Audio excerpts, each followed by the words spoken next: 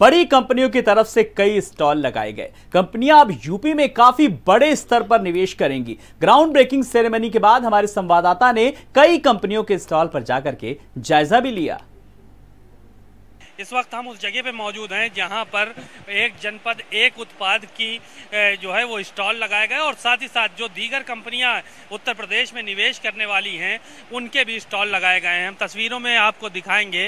ये आप तस्वीरों में देख सकते हैं ग्लैंड ग्रुप ऑफ़ इंडस्ट्रीज़ का जो है वो ये स्टॉल लगाया गया है। क्या क्या है प्रोडक्ट सर, मैं गैलेंट इस्पात लिमिटेड से हूँ। गैलेंट ग्रुप ऑफ़ कंपनीज़ के नाम से हमारी कंपनी है और हम लोग स्टील बनाते हैं। हमारे दो प्लांट हैं, एक यहाँ पे गोरखपुर में है और एक प्लांट हमारा गुजरात गांधी धाम में है। दोनों ही प्लांट इंटीग्रेटेड स्टील प्लांट है, जो कि इधर नॉर्थ इंडिया में नहीं है। यूपी का तो हमारा इकलौता इंटीग्रेटेड स्टील प्लांट है।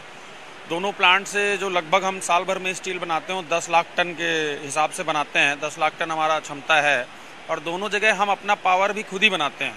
ये आप देख सकते हैं बुलंदशहर का, यहाँ पे ये स्टॉल लगाया गया है। ओडीओपी के तहत ये स्टॉल लगा है। इसमें तमाम क्रॉकरी के सामान है। आप तस्वीरों में देखिए कि किस तरह से खूबसूरत जो है वो प्लेटें हैं और दीगर आइटम हैं, जो किचन के आइटम हैं, क्रॉकरी का सामान है। वो सब का सब यहाँ पे तैयार है। ये बुलंदशहर का अपना एक अलग ही जिसको कहा जाए ये प्रोडक्ट कहा जाता है। और इसके साथ ही साथ ये भी है, ये भदोही की कालीनें आपको नज़र आ रही होंगी कि कितना ज़बरदस्त तरीके से ये कालीन यहाँ पे है। इनको सरकार लगातार प्रमोट करने का काम कर रही है। अयोध्या के, अयोध्या का जो है वो यहाँ पे लगाया गया है प्रोडक्ट आप देख सकते हैं। सर अयोध्या का ये पेड़ा है, ये क्या है? गुड़ है। गुड़ है। जी। हम लोग इसको फ्लेवर में हम देते हैं। आप इसको टेस्ट कीजिए पहले। ये गुलाब के उसमें है।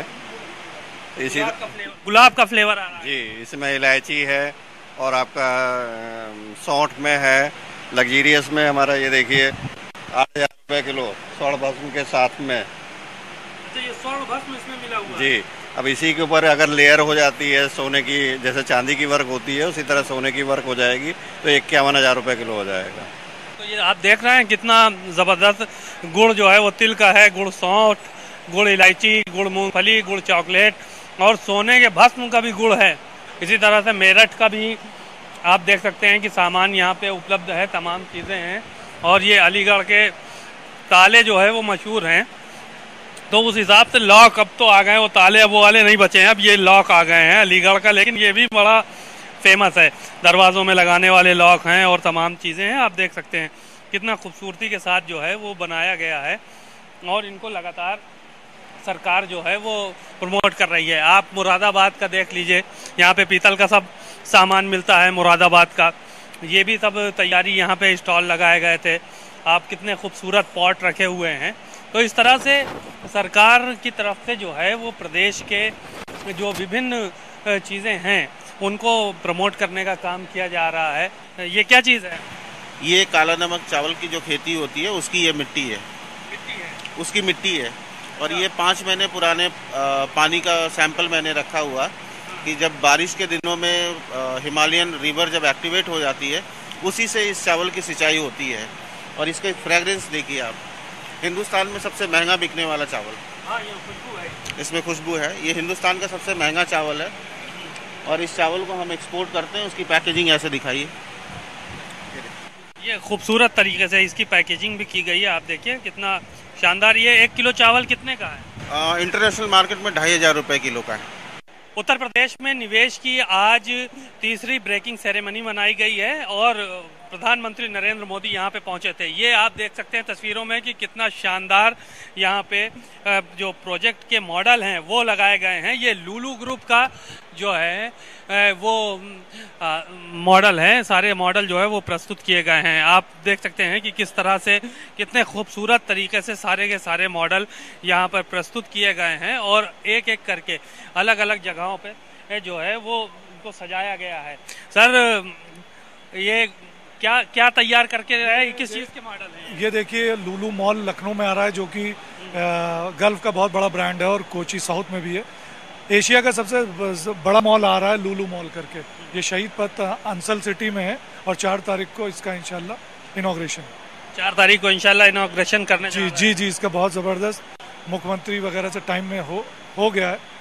देखिए इनशाला इसका इनोग्रेशन और इसके अलावा भी कुछ उत्तर प्रदेश नोएडा में बहुत बड़ा ग्रेटर नोएडा में।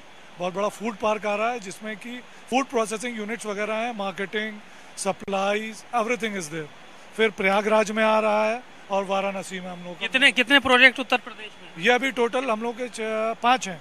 पाँच प्रोजेक्ट्स हैं। और तमाम आप देख सकते हैं कि और भी तमाम जो है वो टेक्नोलॉजी के लिए तमाम चीज़ें जो है वो यहाँ पे मौजूद हैं।